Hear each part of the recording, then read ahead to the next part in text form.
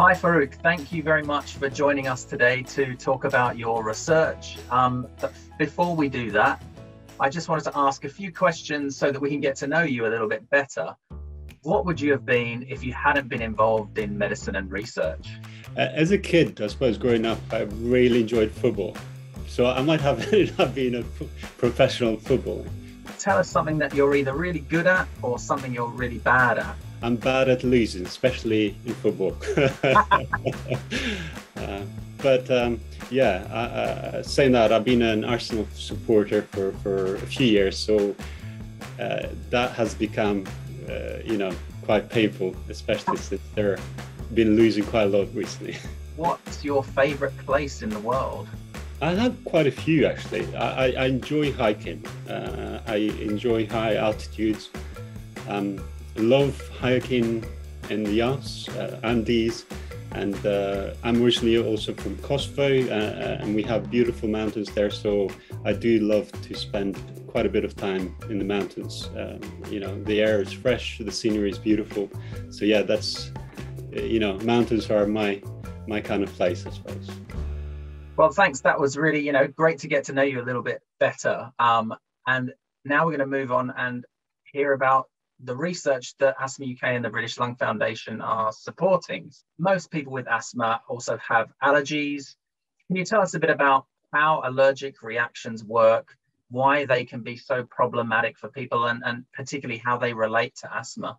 Allergic reactions happen when an antibody called IgE reacts to uh, normally a harmless substance such as pollen or dust mite uh, result in an, uh, in an inflammatory response. That trigger basically, you know, the Ig binding to, to uh, these harmless substances results in inflammatory responses that sort of uh, uh, affect the airways of people uh, with asthma. What, what kind of problems does that cause in the lungs when there's a big inflammatory response? Like how does that affect the person's lungs? It is absolutely true. It's a, an immune cascade so that leads, leads to uh, inflammation and, and, and constriction of the uh, airways that makes it very difficult for a person to breathe, basically.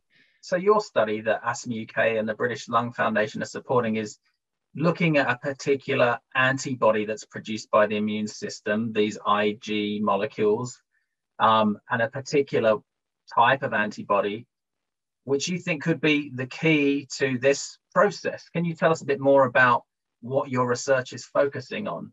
The research basically um, is focusing on, on understanding the generation and survival of this IgE producing cells. And some of these IgE producing cells can live for decades in, in places such as bone marrow. Uh, and being able to sort of uh, not only stop the generation of these cells, but also disrupt their survival in, in those compartments that allow them to live for, for decades uh, is quite important in terms of switching off the IgE production.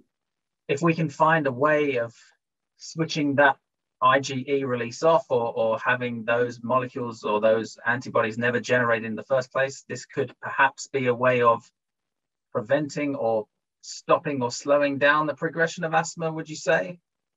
Absolutely. Currently, the only sort of therapy available to, to those people uh, with severe asthma, uh, omalizumab, which uh, is uh, given to, to patients quite regularly, you know, uh, uh, and it's quite expensive, um, has shown that, you know, targeting IgE is a successful way of sort of reducing and managing uh, should I say, the asthma, uh, severe asthma uh, symptoms. Are you looking at a, a different approach for getting rid of those antibodies?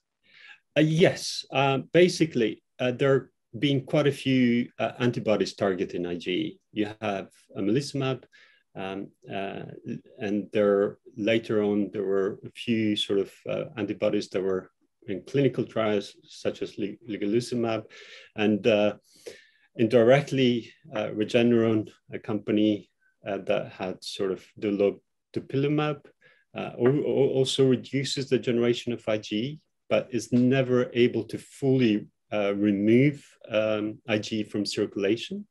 So even after 16 weeks of treatment, you have 40, 50% of IgE in the system, suggesting that there is a, a source of IgE that sort of might be long lived. Uh, and the interest um, in this enzyme is that uh, you know it plays a role in the generation of IgE, but also we think uh, and we're trying to find out if it can also disrupt their survival and their sort of compartments in, in, in such as in the bone marrow or even the lungs and spleen.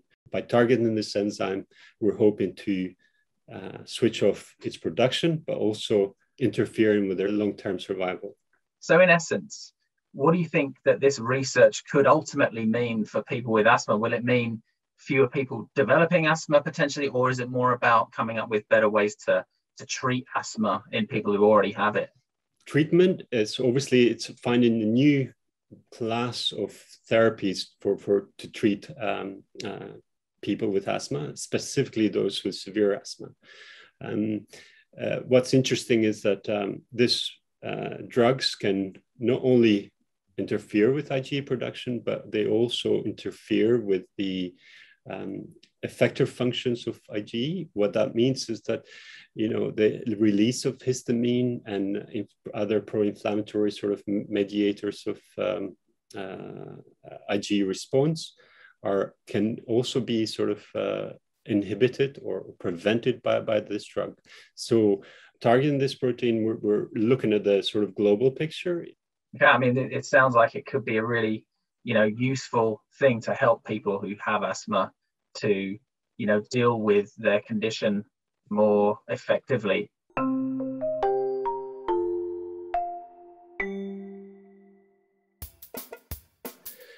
Majority of people with asthma are allergic uh, to normally a harmless uh, substance such as uh, pollen or dust mite. Um, and these allergic reactions are triggered when a type of antibody called IgE uh, reacts to the substances. Current treatments for asthma primarily target the inflammatory processes later on in their uh, production and do not work for everyone. Although current ter therapies can neutralize the secreted IgE. Its effectiveness as an asthma treatment uh, uh, is limited because uh, there are IgE uh, secreting cells that counteract the effect of, of this treatment by continuing to secrete IgE.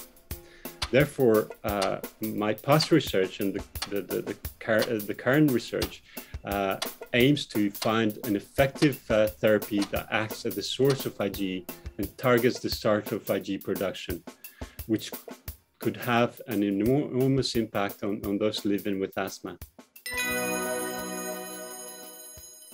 Well, thanks for thanks so much for spending some time talking to us today and explaining your research. Best of luck with the rest of the project. I hope it goes really well, and I'm really looking forward to seeing what the results are. So, thanks again. My pleasure. It was lovely talking to you.